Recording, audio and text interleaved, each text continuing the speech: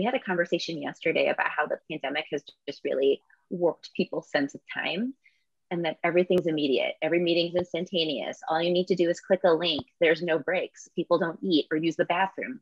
They mm-hmm. just they don't build in breaks anymore because all you got to do is click.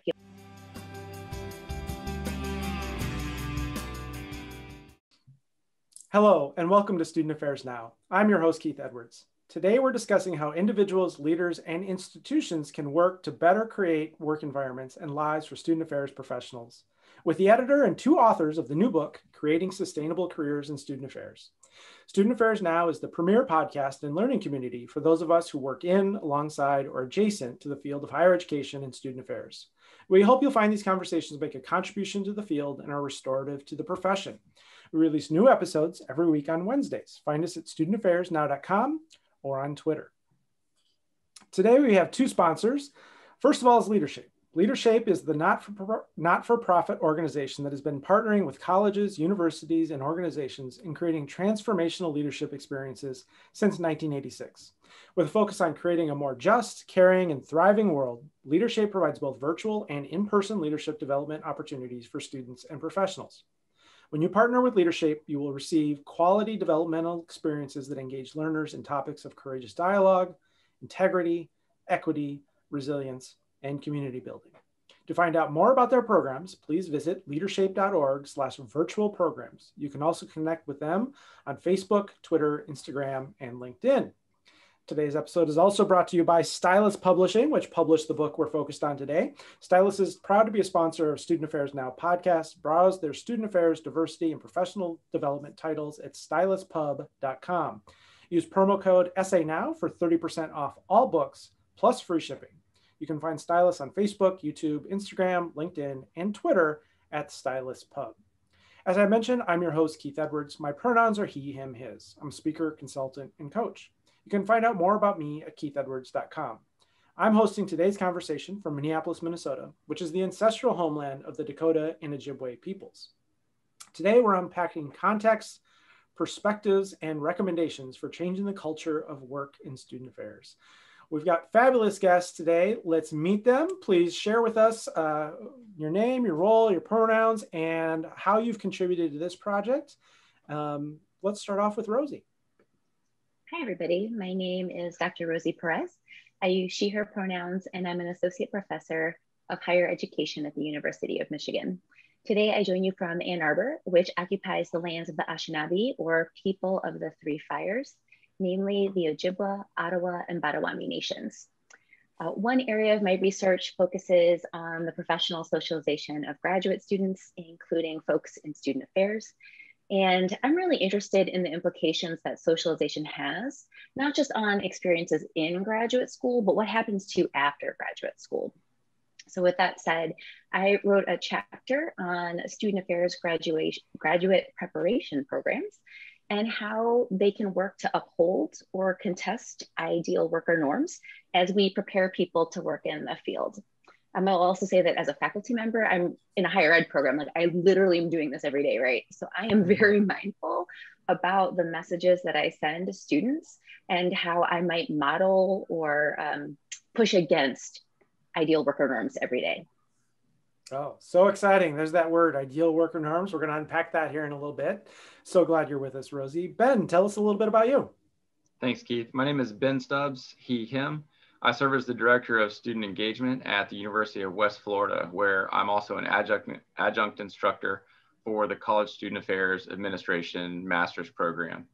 Uh, as a campus life professional, I've had the opportunity to work in campus recreation with fraternity sorority life, student activities, leadership and service, a variety of other programs. And so I was uh, happy to work with and speak with my colleagues in those uh, areas to provide a chapter to the book related to their experiences and uh, how they uh, navigate and uh, try to work through uh, the expectations related to their work. Awesome. We're glad you're here, Ben. And Margaret, you're the editor that put all of this together, framed it, brought in the two authors we have, and many other folks. Tell us a little bit more about you. Thanks, Keith. So my name is Margaret Sallee. I use she, her pronouns. I'm an associate professor and the program coordinator for the higher education program at the University at Buffalo. And UB is located on the lands of the um, Seneca Nation, which is a member of the Haudenosaunee Six Nations Confederacy. My work um, typically focuses on work family issues and work life issues, which is why this book is so near and dear to my heart. But I look at the ways that faculty, staff, and students navigate work and life issues and the implications this has for folks of different identities. So as you mentioned, I, I, I brought the cast of characters together for this book mm-hmm. um, and conceptualized it with a lot of help from all the authors who brought the book in ways, in directions that I actually hadn't originally conceptualized. Yeah, I love it when a project emerges into something different along the way. Uh, let's start with you, Margaret. Can you tell us a little bit about what are the challenges facing student affairs workers and the profession today? Kind of give us a summary of where we're at. I, I know people talk about this a lot and people cite a lot of numbers and it seems to really shift and vary, but you've been really thinking about this. Tell us what, what really is going on. Well, I mean, sort of what Rosie was talking about. We we do this work on a daily basis, right? And our faculty members as we're talking to students. And you know, for the last 10 years or so, I've, I've seen my students coming into my office and just being exhausted. And I've been talking with folks who are new in the profession and mid-level in the profession and senior in the profession, and folks are exhausted. Um, and so I think that, you know, there, there are a lot of challenges. I think first off, right, we see a lot of attrition in the field. Um, you know, earlier studies said that 50% of folks leave the field in their first five years.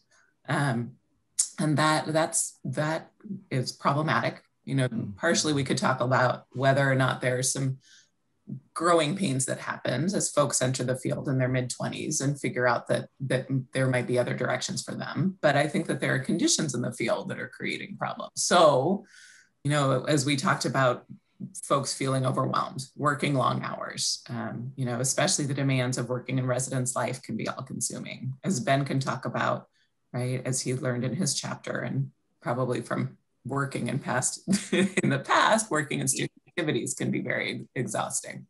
So folks are really just working 24 seven. They are feeling like they need to be the ideal worker, which we'll talk about, I'm sure, a little bit later. Um, and that just, that leads to burnout.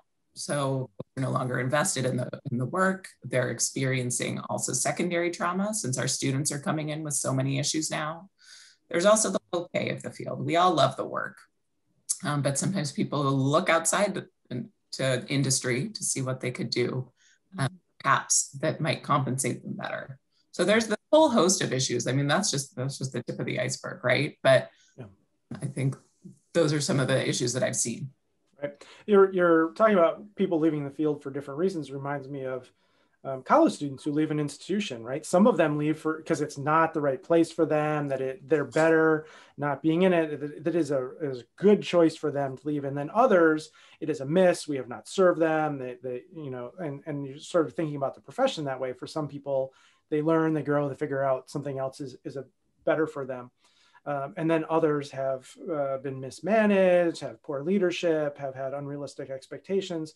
And you're pointing to the the exhaustion and trauma and just two of our most popular most viewed most listened to episodes have been two episodes on trauma and burnout and compassion fatigue. So both the trauma we're experiencing and then as you mentioned the secondary trauma with students. Mm-hmm. I think something else I, I might add to that keith is in addition to leaving the field those are the same reasons people leave their positions to go to positions at other institutions and while certainly it's great for folks to pursue whatever new opportunities they would like if, if they think that's best for them and their families, in my experience, a lot of times when people leave, it's because uh, they are feeling these things in their current position. They still want to stay in student affairs, and a lot of times they do stay in student affairs, but they transition to another university, which creates a vacancy, which creates overload on the other people uh, in the office, and it's it's really disruptive to the work environment and to the experience of the rest of the team. And so there are those impacts in addition to just leaving the field. There are those impacts even when folks leave positions and stay in the field.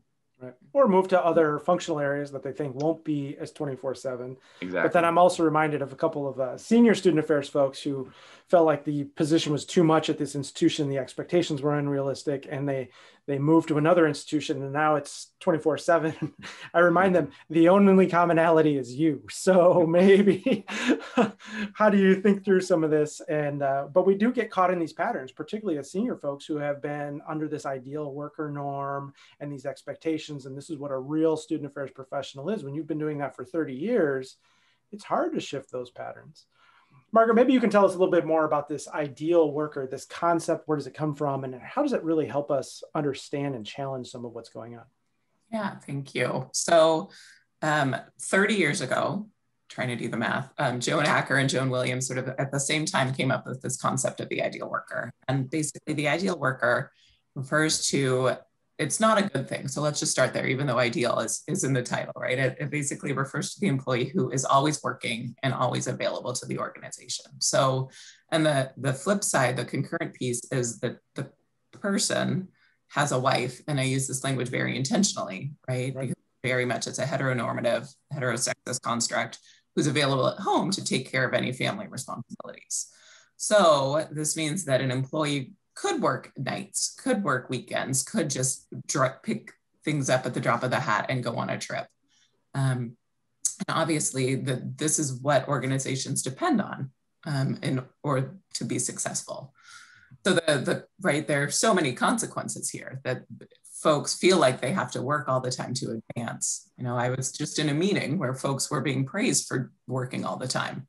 Um, and we we still, even though that we challenge this as a as a construct, at least in this space, we're challenging it. Mm-hmm. This real recognition that if you want to get ahead, you got to put your time in, and you gotta gotta be responsive. I would also say with student affairs in particular, it's framed as you need to be always available for your students. So, right, if a student has an issue at 11 p.m., you need to be responsive. You like put yourself after the needs of your students. Mm-hmm. Yeah, I think I, I hear this uh, just on its face irrational, right? if you're always available all the time, like that doesn't make any sense. But I, right. I hear it justified with, well, you're salaried, not hourly. So that's mm-hmm. what that means. I hear it justified with, um, aren't you committed to your students? Mm-hmm. Um, and I hear it justified with, I did it when I was an RD right? Which is mm-hmm. the same thing that justifies hazing, right? That's the same rationale that, that goes into some of that. Um, so thanks for thanks for setting this up and framing sort of the challenge of, of, people leaving the field, the exhaustion, the burnout, the trauma, but then also this notion of ideal worker, and, and we're going to trouble this. Um, before we, we get in here from here from Ben and from Rosie, um, you edited the book, you wrote several of the chapters, you framed it, you organized it. You also invited lots of different people in. Could you kind of give us an overview of the book, which people can get from Stylus with our discount code at 30% off? It's available now, so go ahead. But kind of give us a walkthrough of the book overall. Yeah, thank you. So, the, the book is divided into three different parts, right? And the first part really is an introduction to ideal worker norms um, and how it affects the work of the profession. So Ben has a chapter in there where he is looking at the impact on folks in particular functional areas. We all, mm. as you brought up, folks in residence life in particular are, are dealing with these ideal worker norms on a daily basis one chapter just dedicated to residence life professionals.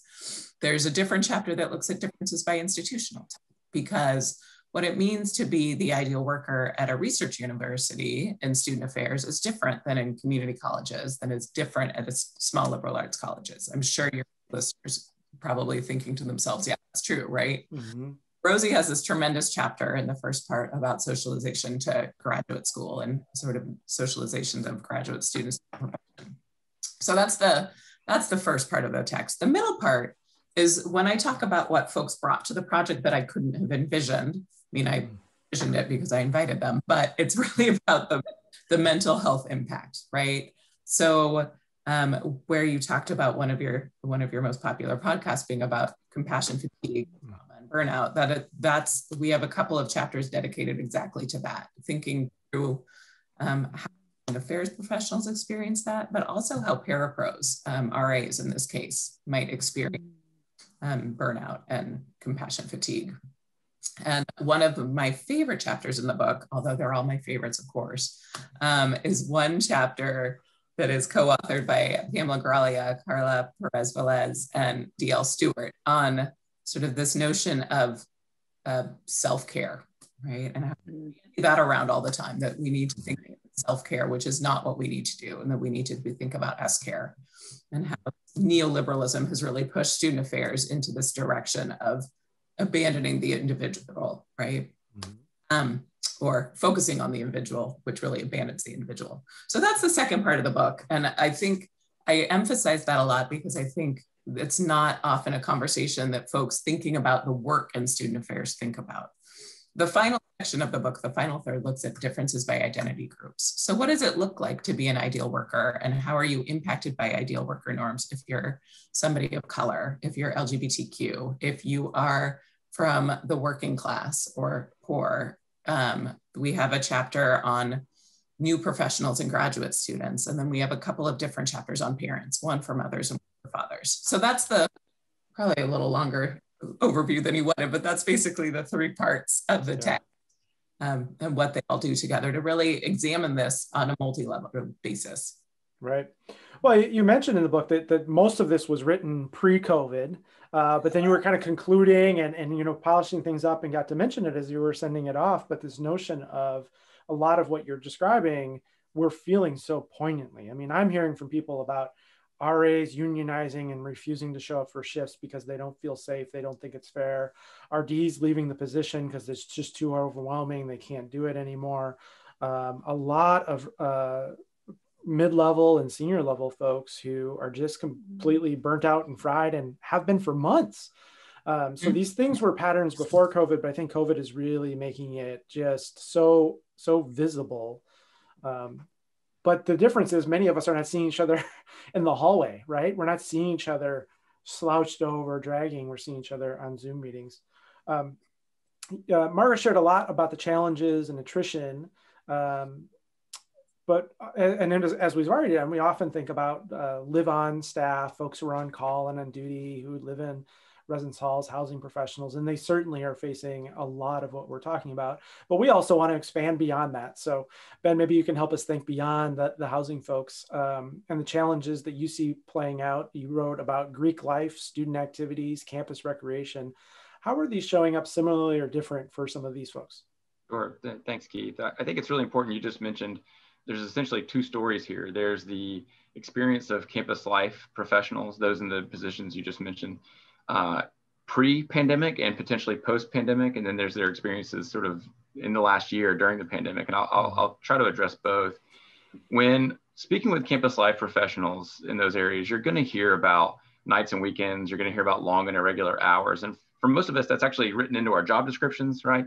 And we kind of accept that as part of the work because that's when students can play. That's when they can meet. That's when they can attend leadership workshops and community service events. And so it's it's reasonable that our work includes uh, those hours and those times.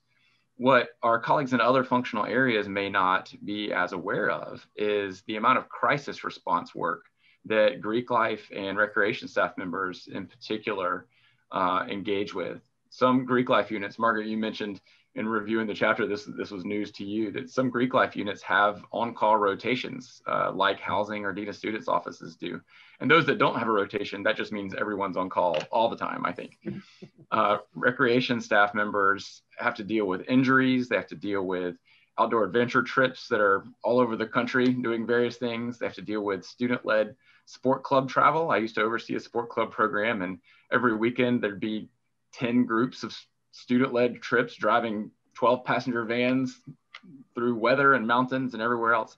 Mm-hmm. And uh, that creates a lot of extra work the major issue is not necessarily that, that that occurs, but when I talk to folks, the, the problem seemed to be that they were expected to do that work in addition to their standard nine to five hours and to their standard uh, functions. It's almost like that work has emerged in, in recent years in ways that it didn't used to exist and it was just sort of added on. It's never really been built into the schedule.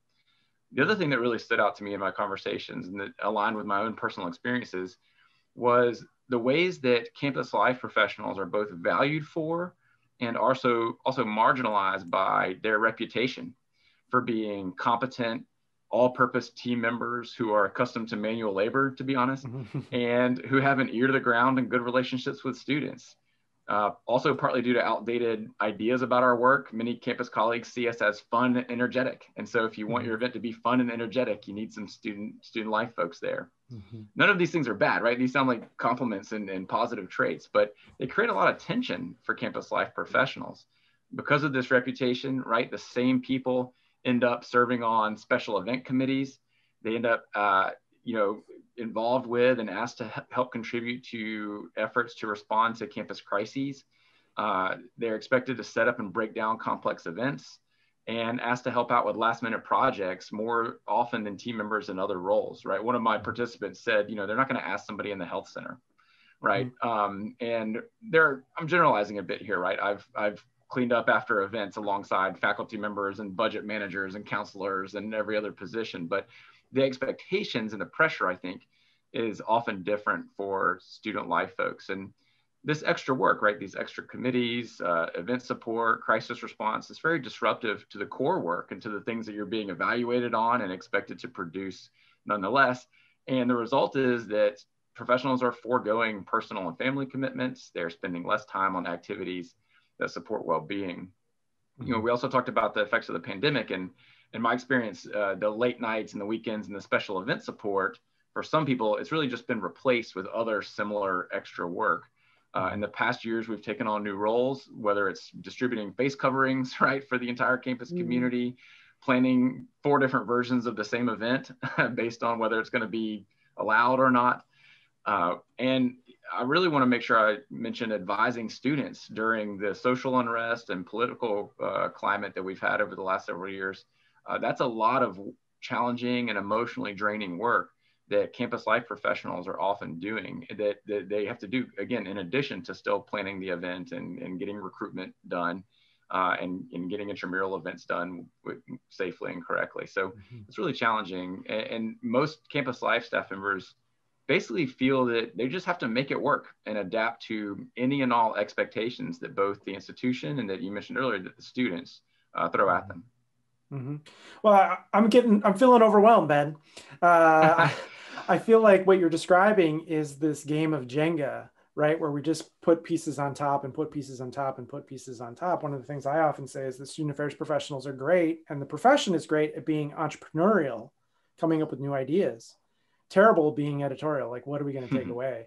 And if you are expected to have uh, office hours or, or be on campus while the campus is open from say 8.30 to 4.30 but then you got to come in for the 7.30 meeting because we're all booked from 8.30 to 4.30 so you got to come in for the 7.30 meeting uh, for the search committee because it's really important and you got to come in at lunch and meet over lunch because our schedule is booked we don't have any other time and then your staff meeting is at 9 o'clock because that's when the students are available and then the 2 a.m call and all of this.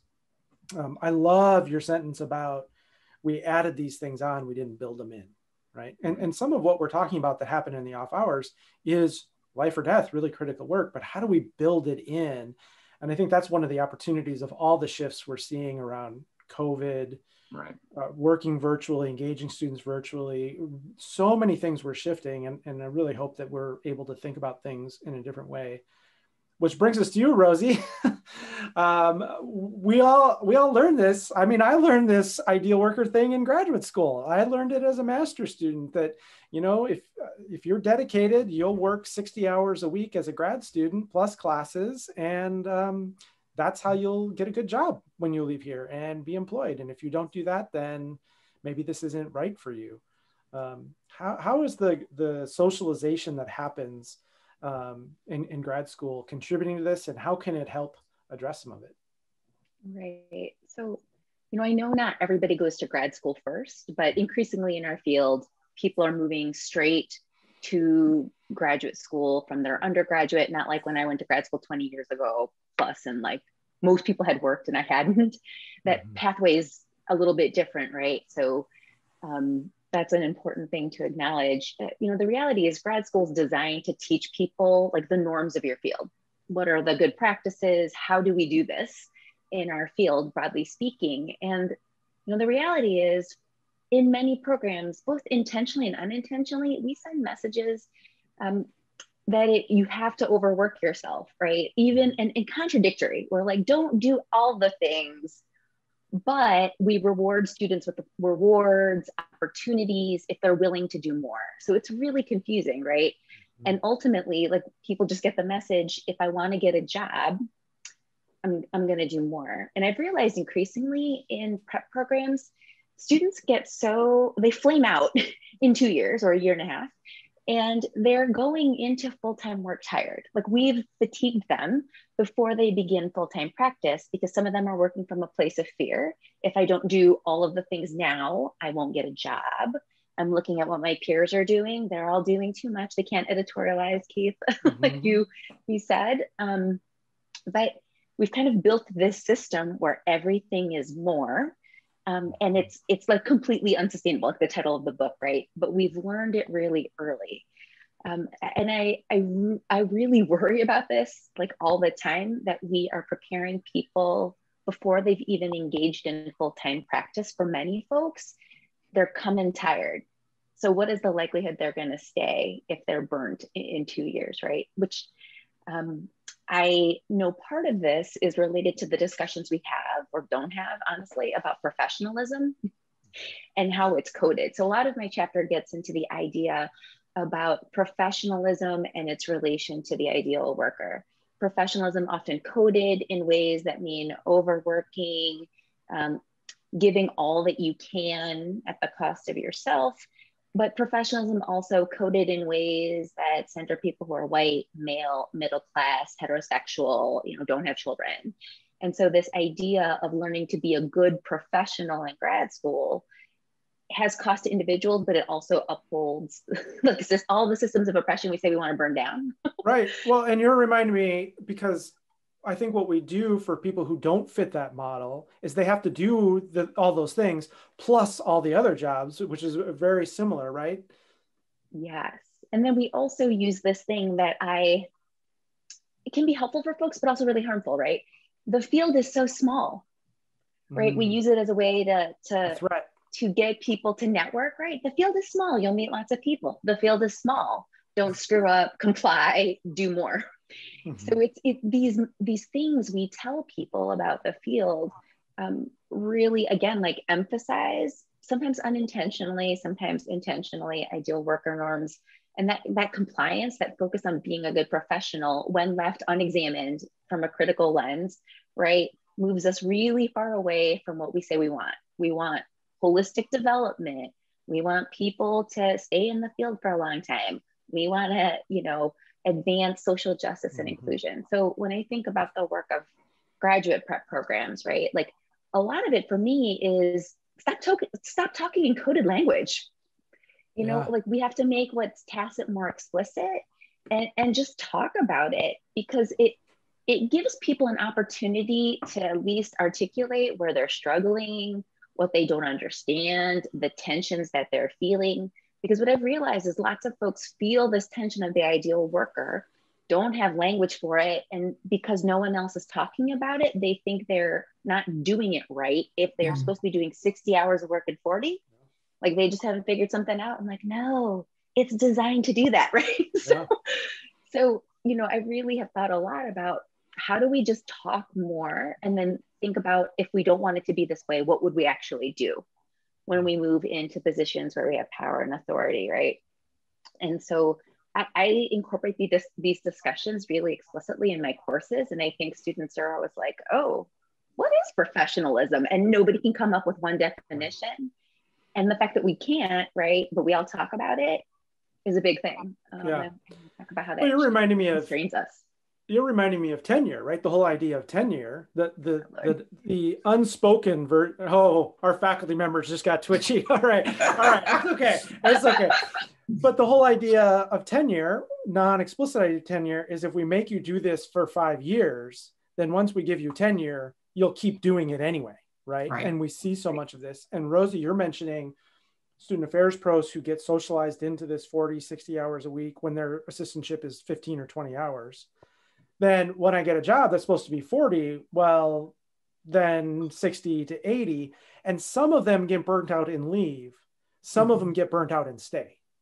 Mm-hmm. Right. Right. And sometimes and when they're that burnt out, they're not good anymore. They're not, they don't want to be in the work. It's no, their job, but they don't really want to do this. It's well, and how many of us are because we're burnt out are not good at our jobs and not fun, not good to be around right? We become mm-hmm. troubling, we become toxic, we, we take out our hurts on our colleagues and our students or our supervisees.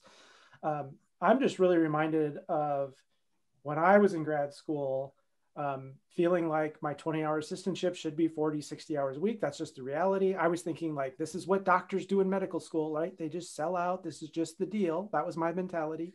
And I went to a, a regional conference where three leaders of student unions at the epic of their career sat there and talked about how the job had overwhelmed them. And one had multiple suicide attempts because of their burnout and trauma. One had lost a marriage because his wife felt like he loved his union more than he loved his partner. Mm-hmm. Um, and another one had just troubling relationship with his children. And I walked out of that going, no, I'm not treating this like medical school. I'm not selling out. And that probably lasted like three days. And then I got back into it, right? And then I would start my new job and I would make a recommitment and that would last maybe a week. And then, but that's what socialization is. It never stops, right? It's constantly coming in. Right. So I think as a faculty person, right, when I have students constantly telling me they're tired and that they're overworking, right, I always think instead of saying, well, what could you do to set boundaries, which is part of it, in my head, I'm like, well, what conversation do we need to have with assistantship providers about what's reasonable? Like, how do we, how are we supporting students? Like, that is one of the things that I find really difficult, right? Faculty do their thing and, and uh, assistantship practicum providers, you do yours. In some programs, they are more tightly coupled, but sometimes we don't really talk enough about the loads we're putting on students. And we could work in better partnership to talk about how we could better do this and not amplify ideal worker norms. You know, I also think as faculty and people who supervise grad students, it would probably be helpful if we would more uh, be more public or own where we're struggling with this, right? Like I think my students have responded, they find it fascinating that I have like a daughter, right? And they love when real life interrupts, even though sometimes I'm mortified, right? Like, oh no. Um, but for them, that's like a very humanizing thing. It's not like when you get your master's or PhD or get a particular job, you're going to get it better. Mm-hmm. That this, our field is designed to we built a field in a way that sustains this struggle and we're not in it alone but we've designed it so we don't always talk about it until it's like to the point we're breaking right so i would just argue that like as we look ahead what would it take for us to really be more open and transparent so that we can think about actually changing things rather than just saying it's so hard well, open with the struggles we're facing, right? How hard yeah. it is, how we're tired, but also open with our strategies. Like, I got to mm-hmm. exercise and I do these things, and I've had this conversation and I passed on this opportunity. Um, Margaret, we started with you. Let's circle back to you. What uh, hearing from Ben and from Rosie, what what sort of what's important things that you want to make sure don't get missed in this conversation? There's so many things. I mean, I think Rosie's point, right, about the individual strategies are important, but it it's the organizational change, it's systemic change that we need. I mean, clearly, it, while we're all waiting for that change, or while we're waiting to be a part of that change and participate in that change, there are things that I think folks can and should do, and it has varying levels of impact, right, depending on your your uh, location in the organization, right. Mm-hmm. You know, I've been having lots of conversations with folks about uh, the e- like delayed send on your email. so you know, and that and really interesting to me. It seems like a no brainer in terms of if I have something I want to get off my desk, I will, and because of my work hours, right? I'm a single mom by choice of three year old twins. And so my work days are shifted in weird ways. Bless you. Thank you. Thank you. They were two year olds during the lockdown. So, um, but so right my work hours are shifted in ways that other people's aren't but um, so I will do a lot of work at night, but I don't want to send Ben an email at 10 p.m. at night and have him it stress him out, right? He works in, in, student activities, so maybe he's used to that. But so I will use the delayed send feature so somebody gets it the next morning. And to me, this is just a simple thing. It, and there it's layered, right? It's still I'm still working, but other folks aren't feeling compelled to respond. So in any case, individual strategies to sort of manage our own work i think as you said building in time for exercise and but it's really a, a systemic issue that i think needs to be addressed at the top professional associations and i'm seeing movement right NASPA is really interested in taking this up right now Um, and ACUHO-I is really interested too, and sort of considering what the role of the live on professional. It's like on cue, those twins just decided, hey, we heard you talking about us, and here they're chiming in from the background. Well, they did. They just came back from a walk. So, yeah, just what perfect scripting and timing. I, I love it. That's our family um, for you. yeah. Uh, ben, what do what do you think that um, folks who want to make some of these shifts? I think the conversation often is about what the individual can do, but how do we talk about? I'm your supervisor. What is it that you're doing? What is it that i can do? How can i advocate for you? How can we work on this together? How can we shift these?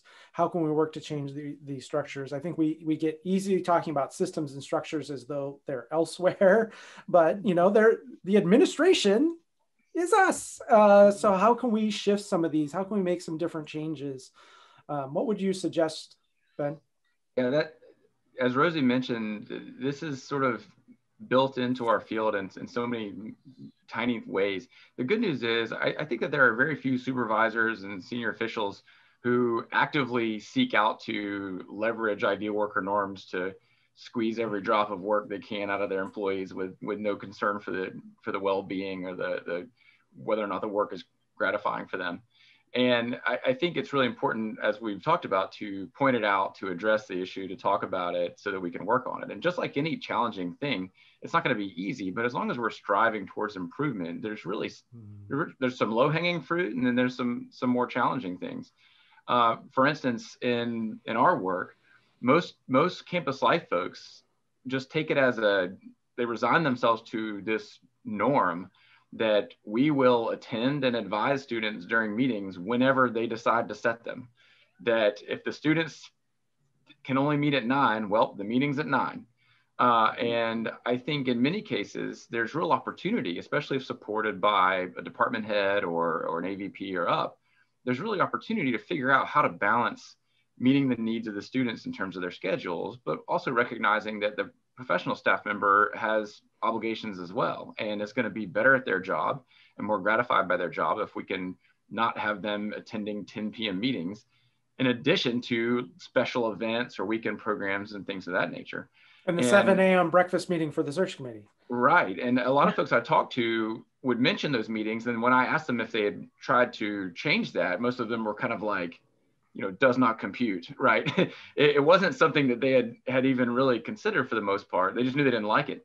But you know i did talk to one department head in student activities who was able to transition i think 20 evening meetings 20 regularly occurring evening meetings all to business hours and not in ways that disadvantage the students. And so i think as long as we reframe this as not being an example of not meeting the needs of our students or not supporting our students but we reframe it as a, a different way of supporting our students uh, so that we can better advise and better work. I don't know about you, but I work better at 3 p.m. than I do at 9 p.m.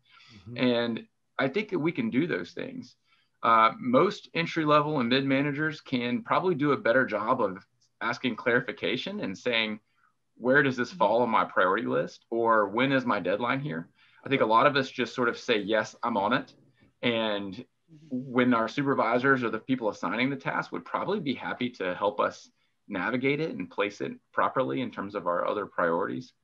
And I, I think that, uh, as we mentioned earlier, just thinking about the things that we're modeling and thinking about the things that we're rewarding and recognizing, uh, making sure that we're not just giving divisional recognitions to the individuals who seem to have all the time on their hands or to make time on their hands by you know, sacrificing other things they might be doing. Those are all little things that we can do that I think that with a concerted effort uh, can really make a big difference. Mm-hmm. Rosie, you, you're with uh, graduate students all the time, and you wrote this chapter on the grad school socialization.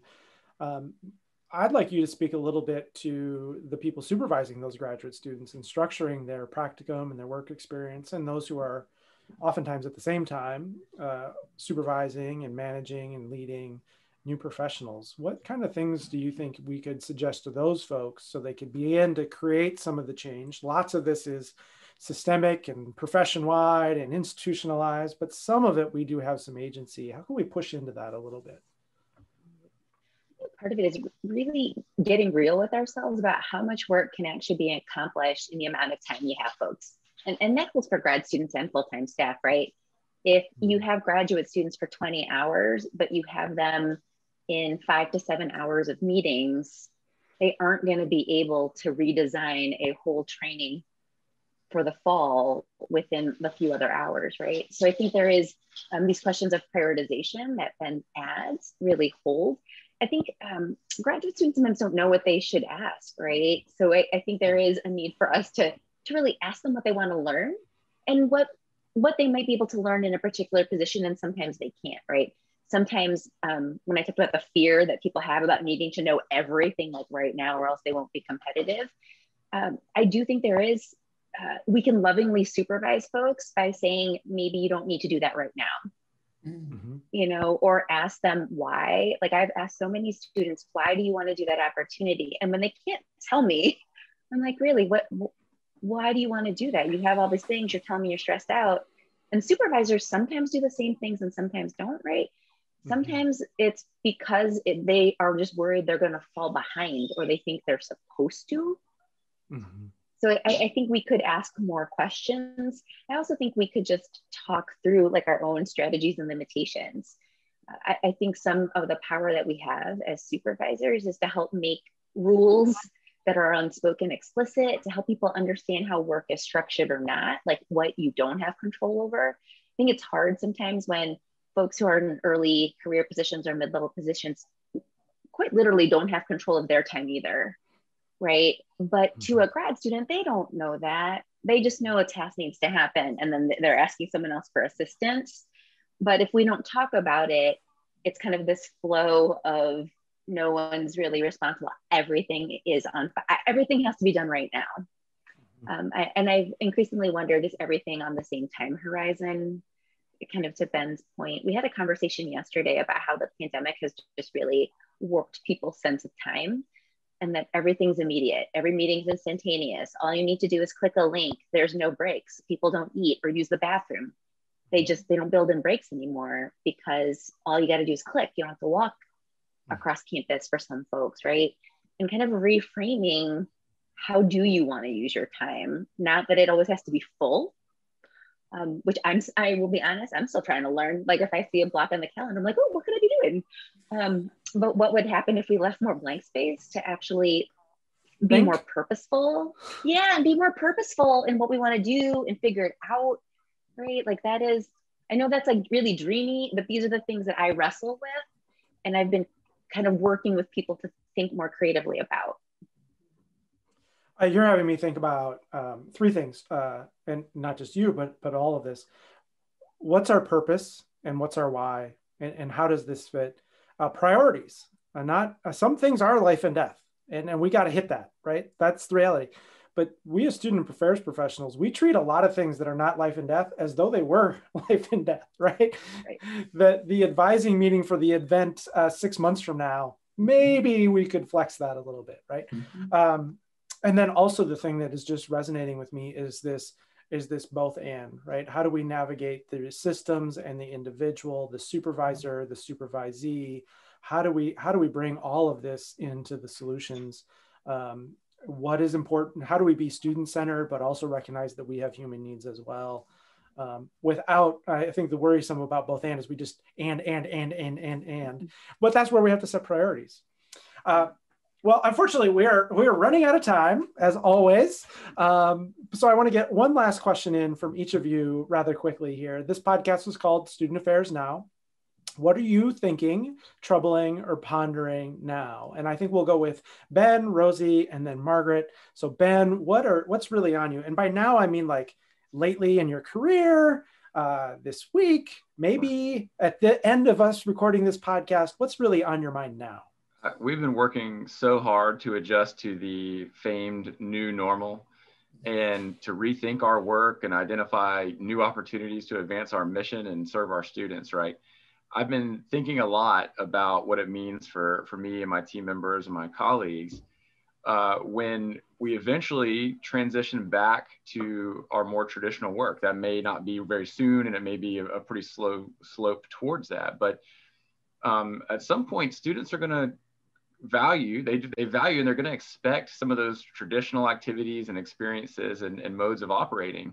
And i've been thinking a lot about how the changes we've made in the last year or so is going to are going to impact our ability to to support those opportunities and to provide those and engage students in those ways yeah a lot of things have shifted that'll be hard to unshift so rosie how about you what's on your mind now what isn't keith um, i I all the time, right? I, I think I'm always wondering what would happen if I and those I work with didn't work from a place of fear. Mm. That if I don't do something, X is going to happen. And often the X is actually not a real consequence or even a real thing. But what would happen if I slowed down?